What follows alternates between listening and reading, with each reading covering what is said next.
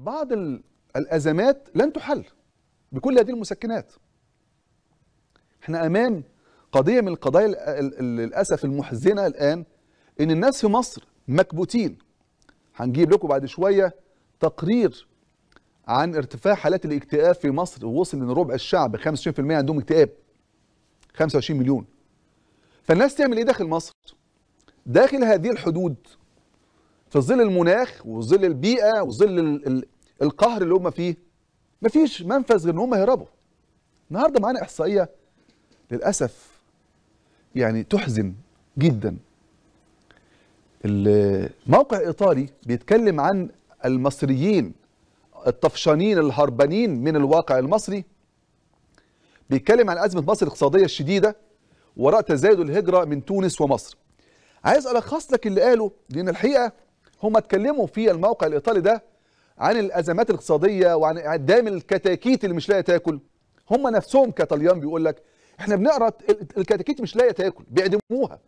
ما بالك بالإنسان؟ لا يستطيع أن يوفروا الآن طعام للحيوان. فما بالك بالإنسان؟ بيتكلموا عن أرقام وصلت ان اللي- طفش اللي هرب اللي وصل لهم كطليان العام الماضي 16275 مواطن مصري. هربوا عبر الحدود الليبية ركبوا حضرتك اللي هي السفن الغير شرعية وصلوا إلى الحدود الإيطالية والآن موجودين. رقم 16275 طول السنة بنسمع عن غرق سفن بنسمع عن ضبط ناس على الحدود امبارح طبعا استعرضنا لحضراتكم أول أول امبارح ال 13 مصري اللي كانوا في التريلا في صندوق تحت التريلا وضع لا آدمي. المشكلة أيضا إن اشقائنا في تونس تقريبا نفس المعدل 16130 مواطن تونسي هرب أيضا من البحر. ويا سبحان الله التشابه بين ثورة الياسمين وثورة يناير اللي جاءت للشعبين بالعزة والكرامة الإنسانية حين تبددت بانقلاب عسكري وانقلاب دستوري يبقى مصر وتونس الاثنين أكثر دولتين بيهرب أولادهم ويطفشوا ويرموا نفسهم في البحر. ويطلع الطليان والصحافة الإيطالية تتكلم عن هذا الأمر. طبعا البيانات محزنة جدا جدا. أنا مش عايز أر- يعني عايز أل- ألخص لكم الموضوع. إنما واحدة من نواب الشعب النائبة نشوى الشريف بتتكلم عن الواقع ال- المزري والاكتئاب والإحباط الذي أصاب المصريين واضطرابات النفسية في هذا الوقت. نسمعها ونشوفها ونرجع تاني. موضوع النهارده الصحة النفسية والرفاهية للجميع. هذا شعار اليوم العالمي للصحة النفسية اللي إحنا اشتركنا فيه. طيب المصريين بيعانوا بنسبة 25% من الاكتئاب والأمراض والاضطرابات النفسية.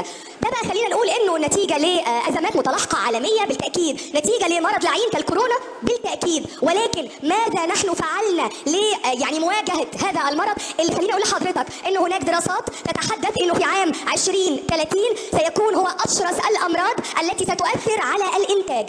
للأسف أنا ما شفتش إن إحنا كان لينا يعني آه، آه، شيء عملناه واضح وبشكل صريح من قبل الوزارة. لا ما شفتهاش نهائي. آه، نحن نتحدث عن عدد من الإنجازات التي تحدث في الدولة المصرية. المصريين لا يشعرون بها. آه لا يشعرون بها. لماذا؟ لأن المصريين يعانون وهم ضحايا. بالفعل لهذه الأمراض اللي إحنا من الناحية الثانية ما بنعالجهاش. آه، نحن نتحدث عن آه، حالات انتحار عالية نحن نتحدث عن حالات من الهرجله وعدم النظام في الشارع المصري حالات قتل كثيرة تحدث. موضوع والله سيادة النائبة نشوى الشريف حقيقة كلامها في إحصائيات رسمية معروفة.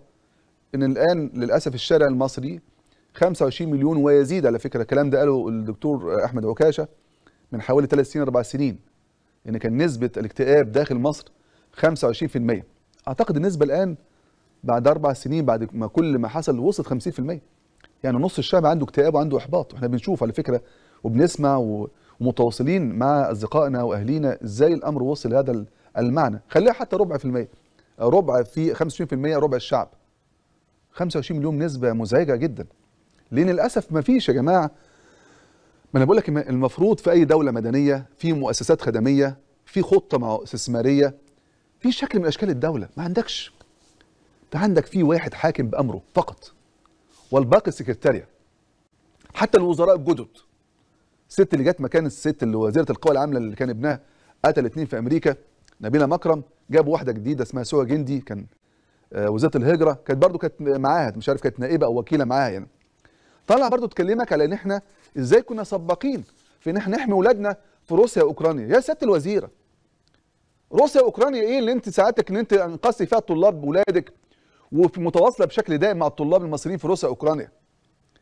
يا سيادة الوزيرة ده أنت بتتكلمي على طلاب إحنا شفناهم على اليوتيوب اليوتيوب لا ينسى ابدا.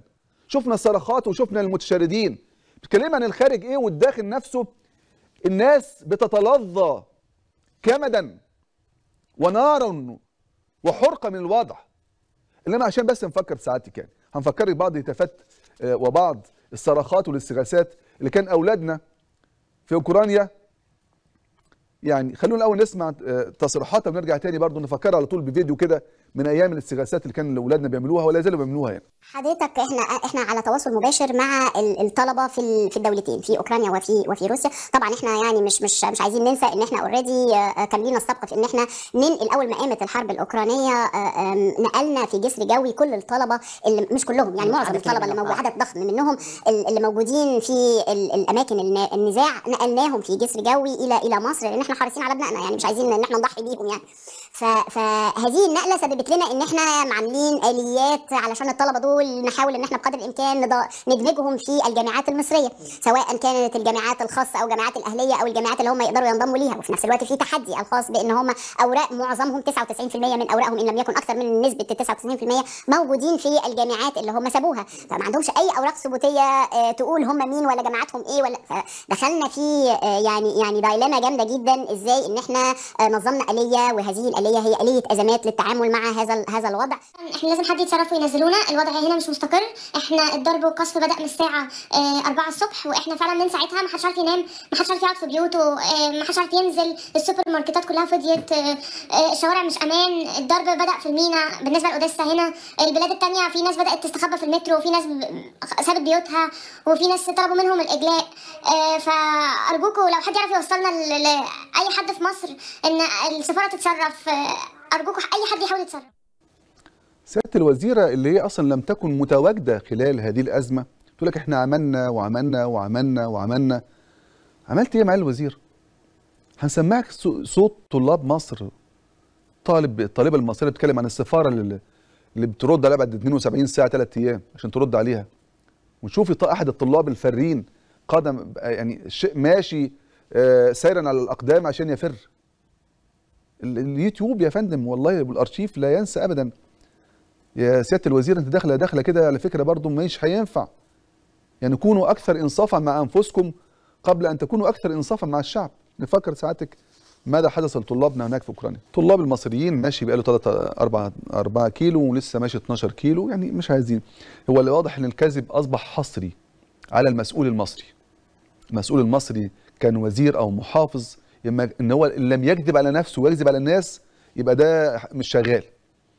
الإنجازات هي مجموعة من الأكاذيب لابد أن تساق بس بشكل حلو بشكل جميل يعني. ويطلعوا دلوقتي يكلمونا عن إنجازات لم نشهدها ولم نعرفها ولم نراها.